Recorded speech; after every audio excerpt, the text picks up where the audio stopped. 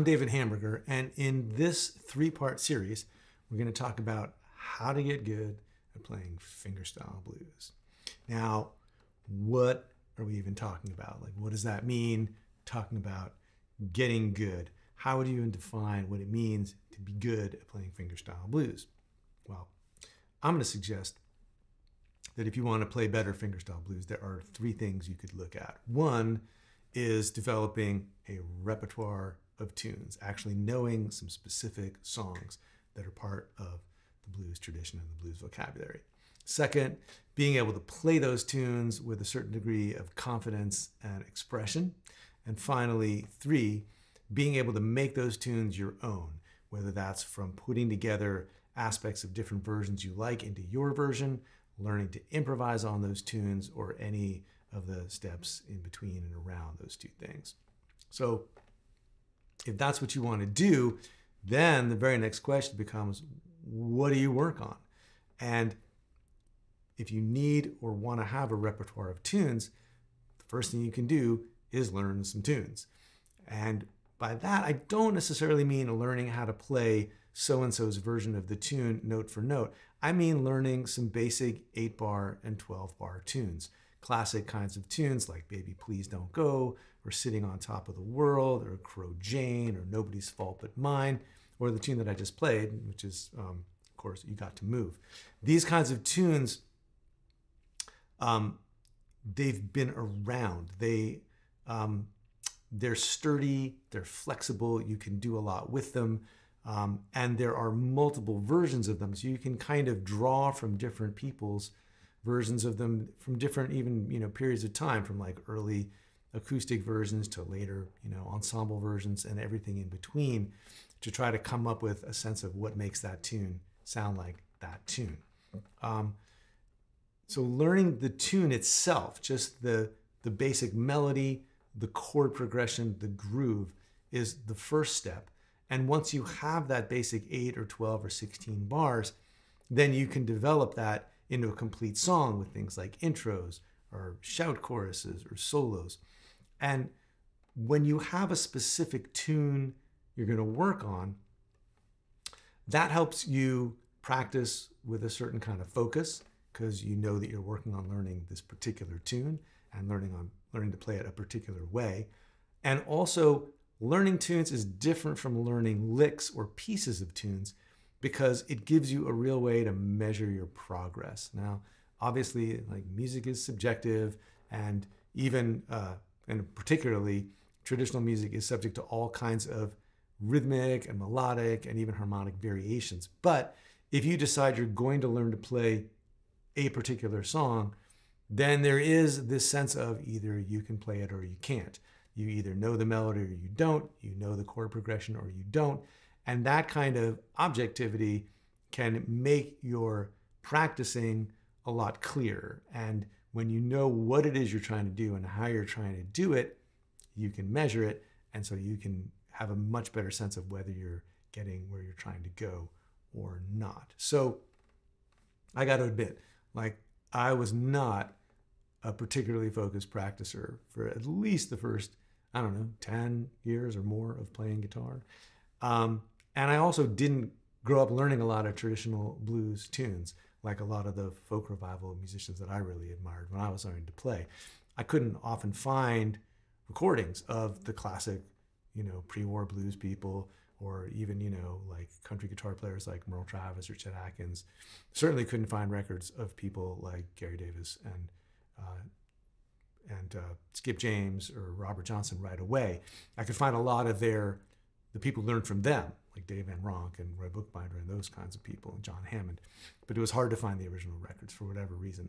But um, eventually, I was, of course, able to find those records and one of the things that gave me a really deep uh, appreciation of traditional music was when I started uh, writing for Guitar Player and for Acoustic Guitar Magazine because those magazines couldn't uh, or wouldn't pay for the rights to uh, copywritten tunes. So you couldn't, if you were teaching a lesson on like, well, here's how to play a steady bass or here's how to play slide guitar, like you couldn't use a Muddy Waters song, you couldn't use a Hank Williams song, You couldn't use a Robert Johnson song. You had to use songs that qualified as public domain, meaning songs that were old enough and widespread enough that everybody did them and nobody really had claim to the copyright. And so that made me, because I was doing that kind of work, uh, that made me uh, go and look for uh, the tunes that you know could be considered public domain. And one thing that I noticed about those songs is that they're really uh, they're really sturdy and they're really flexible. They make great teaching tools. And because there are so many versions of them, there's a certain freedom in learning those kinds of tunes because you can, to some extent, do what you want with them, which is, um, you know, one of the big questions for a lot of people is like, well, how do I make this more expressive? How do I make this sound like me when a lot of guitar education, particularly around roots music, is all about emulation. Like, here's how to play like so and so, right? But if you start learning tunes as tunes, not as the so and so version of the tune, that affords you a certain kind of flexibility within the realm of still playing traditional music and still playing recognizable songs. So, public domain songs are familiar um, and they're really, as I said, they're really sturdy. They're also very flexible. Um, another thing that is really good about them is you can play them uh, as vocal tunes or as instrumental tunes. And one thing that I uh, have found really helps is learning an instrumental version of a tune, like putting the melody on the guitar. Because if you don't sing, and a lot of us don't, I certainly didn't for the first many, many years of playing guitar, um, it still gives you something recognizable to play as opposed to just blues licks. If you can play the melody to a tune, like Baby Please Don't Go or Crow Jane or one of these tunes I mentioned, um, or you know dozens, hundreds of other tunes, um, then when you sit down to play, you can play something with a beginning, a middle, and an end, even if that's only eight or 12 bars. Um, and if you do sing, then one of the other big questions is well, okay, I sang the tune. What do I do to keep it interesting when I'm not singing? And the answer is, well, you can play the melody. The melody sounds great on the guitar. Um, so learning instrumental versions of these tunes um, can be really effective um, as a learning tool and as something that you can then turn around and play for your own satisfaction when you're playing with or for somebody else. Um, and finally, the, the great thing about learning the tune as a tune is that when you're learning a version of a tune, uh, if you're trying to play, uh, you know, Cannonball Rag like Merle Travis, or you're trying to learn to play Crow Jane like Skip James, those performances are the summation of, you know, decades of someone's work as an artist. And, you know, they've put so much of what they know how to do into it that you're starting by trying to scale this height of playing something that is potentially very complex, very nuanced, and also, you know, goes on for, you know, several choruses. And you're it's kind of setting yourself up uh, for failure in a way because you might master that, but more often than not, you'll feel like, well, I got the first two choruses down, only 10 more choruses to go, right?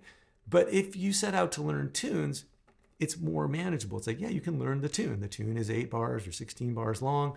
You can learn the tune. You can even learn the tune as informed by someone's particular version without feeling like you have to, you know, eat the whole elephant, basically. You know, you can basically learn a part of it and then go, okay, well, now I know the tune and I understand how they did it and what can I do with it from here. And that can be a much more approachable and sane way to work on playing this kind of music. You can come at these tunes at whatever level you're currently at. So if your current capacity is to start putting melodies over the bass and eight or 12 bars is enough of a challenge for you right now, cool. Learn that melody and call it a win when you've got that melody sitting in a really nice pocket over the bass and everything's sitting together really nicely and you can play it and it sounds like the song. If you're at a point where you can start to put some other things around that, like an intro and an ending and a turnaround and maybe a little bit of a solo, you can do that and you can take the tune and develop it out like that until you actually have a two to three minute performance that you've put together out of things that you currently understand. And if you're able to do all that and have a capacity to do some improvisation and include a solo in the middle of all that, fantastic. Whatever level you find yourself currently at, you can use these tunes as a vehicle. You can focus in on the things you need to know right now to improve your playing, and you can go from there. So these tunes will meet you at whatever level you're currently at. So let's take this tune that I played at the outset, You Got to Move. A few weeks ago, I did a pretty in depth lesson, uh, sort of walking through. Um, you know the blow by blow of how to put the tune together so rather than completely reiterate that right now i want to sort of use that as a point of departure and look at how learning a basic version of the tune can help you work on these three really important skills your right hand coordination meaning how your thumb and your fingers line up and how to get that to be solid um, how it can help you learn uh, phrasing how blues phrasing, which is so fundamental to uh, everything about playing blues, from interpreting a song to improvising on it, learning the melodies to classic blues tunes will build your vocabulary uh, and your sense of how blues is phrased and played. And finally, how you can use the basic version of the tune as a springboard to draw in aspects of how other people play the tune and without necessarily trying to learn their entire version how you can take, say, uh, you know, a set of chords from one version, the groove from another version, the way the melody's played from a third version, the key it's played in from another version, put those things together so that your version is sourced from all these traditional places, but ends up being the version that you want to play because you've made these choices about the different things you can use. So let's start with just recapping the tune itself. Here is uh, the fundamental or basic version of the tune that you can play. I'm playing it in E. I'm playing with a quarter note bass. That's the groove that I've chosen. And I've taken this pass of the melody basically from the playing of Mississippi Fred McDowell. Now, Fred McDowell played it with a slide, and I'm playing it without a slide. So, right there, kind of appropriating something. Just because I want to play the Fred McDowell melody, do I have to play it with a slide? No, I don't. But I can be inspired by that and take that and go, like Fred McDowell's phrasing, makes sense to me. I'm going to put it over this steady bass. So it would sound like this.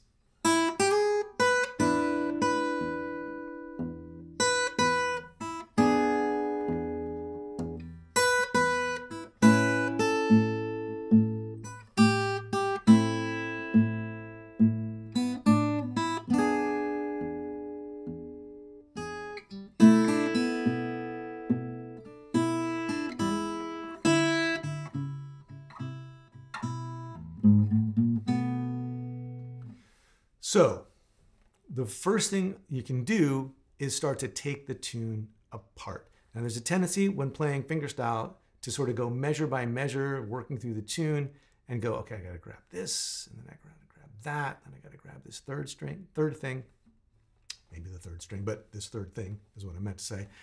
And I think it really helps if you can take it apart into this three step process. And I've actually tabbed out this process. There's some tab that you can download for today's lesson and for the upcoming lessons. There's a link below, there's a link on screen. Um, you can go and look at this sort of breakdown that I call the horizontal three step because it basically means remembering that what's going on musically is happening horizontally, not vertically so much. And there's three steps to working it out. The first thing is to separate out the bass, to just go, what's the bass? What am I doing with my thumb? What are the chords? What's the groove? Because what the thumb is doing, what the bass is playing, is basically the underpinning for the whole arrangement. The thumb is the rhythm section. It tells you the tempo, it tells you the groove, it tells you the chord progression. Everything that a rhythm section needs to in, inform the listener and the other players of. So what we've got here is this eight bar chord progression, right? So if we just look at the first four bars, we've got two bars of E,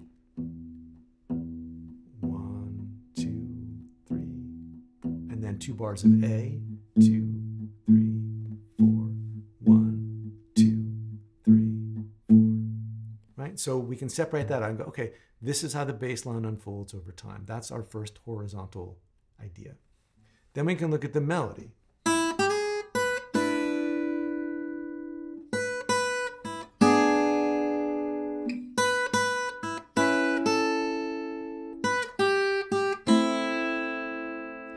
Looking at it just as the melody lets us really focus on the phrasing, meaning the way that the melody is shaped, where it plays and where it stops to pause and breathe. And when we look at that, we might want to count that out too. And here we're counting one and two and three and four and one and two and three and four and two and three and four and one and two and three and four and one and two and three. Now, this is some real detail work, right? And this is very objective. Once you've decided on the phrasing, it's either you're either, you know, hitting it or you're not. But one thing that's really interesting we can notice about this, besides that, is that all four of these phrases have basically the same rhythm. They all are basically and four and one. And four and one. This one's a little different. And four and one and. And four and one.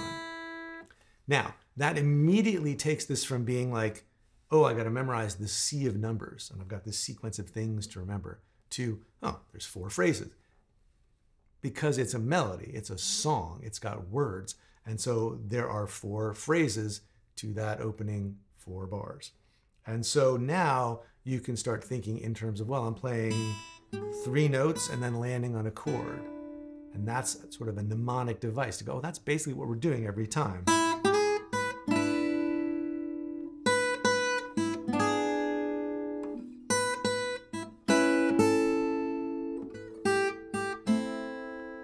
That's the second horizontal thing, right? We got the bass going out, going along in time. We got the melody going along in time. Now your job as a guitar player is to make those two things happen at the same time. And if you've been counting out the bass and counting out the melody, now you need to just look at where are the thumb and fingers playing together and where are the fingers happening in between. Because the thumb is calibrating what the time is. And so the fingers are all working as a function of that. So, and four, and one. So there's the first time we pinch or play thumb and fingers together. And two, and three, and four, that's a pinch, and one, that's a pinch. Two, three, and four, there's a pinch. And here's one more. One, and two, two,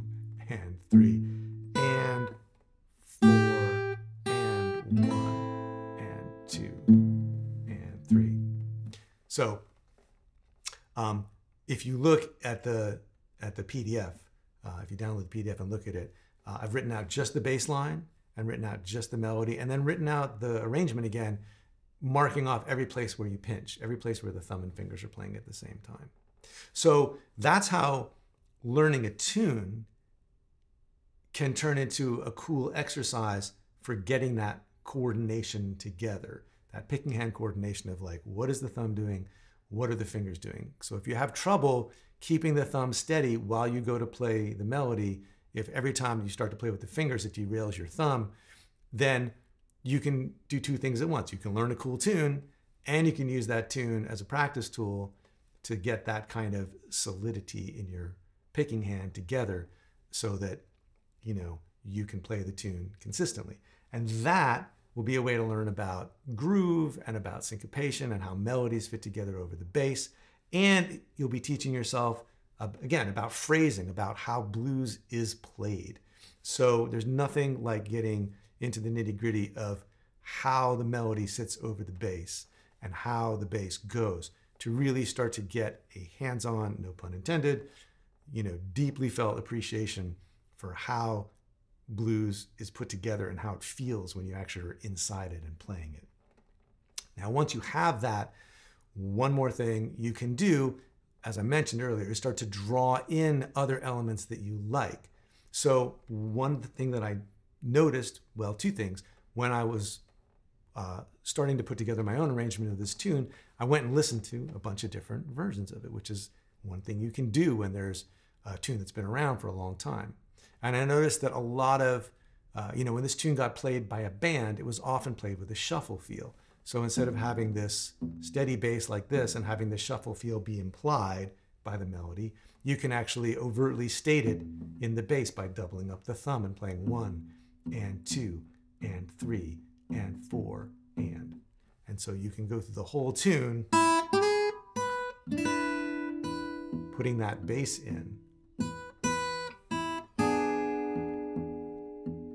And some people think it's actually a little easier because everything's a pinch, right?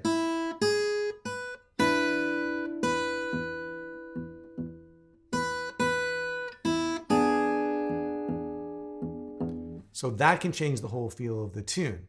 And another thing that I really liked was I was listening to the Sister Rosetta Tharpe version of the tune, and she was a great uh, gospel singer and guitar player in the 1940s and 50s.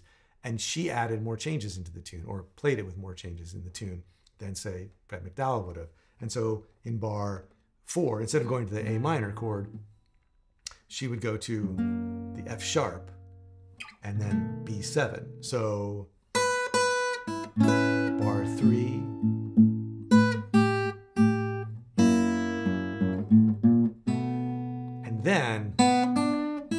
bars five and six, you would go through a whole one, six, two, five turnaround.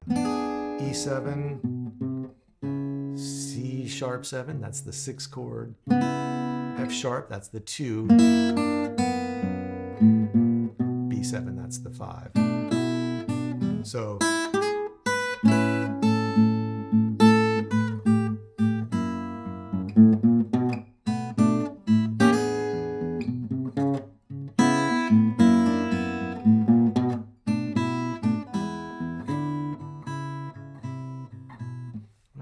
So um, I think of that as starting to embellish the more fundamental version of the tune. So if you look in the tab PDF, you'll see an embellished version which has uh, the shuffle feel and has the Rosetta Tharpe chords. So that's one more thing you can do. So you can use the fundamental to work on your the, the basic tune, to work on your right hand coordination, to work on your phrasing, building up a sort of vocabulary of blues moves and blues rhythms. And finally, you can embellish the tune.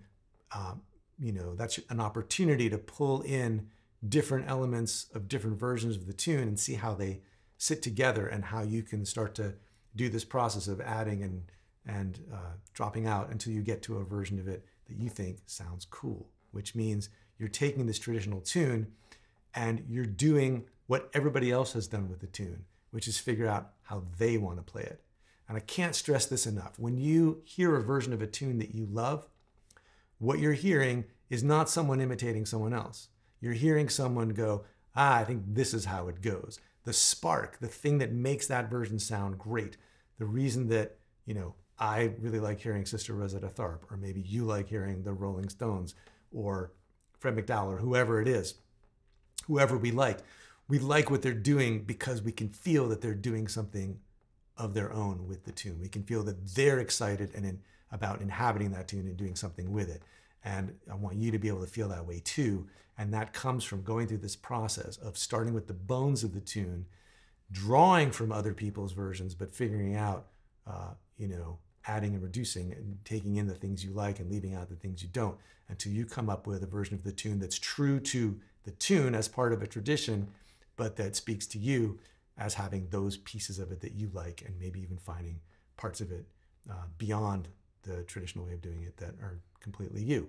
So if you haven't downloaded the tab yet, go to the link below or the link on screen and download the PDF with all the examples from today's lesson.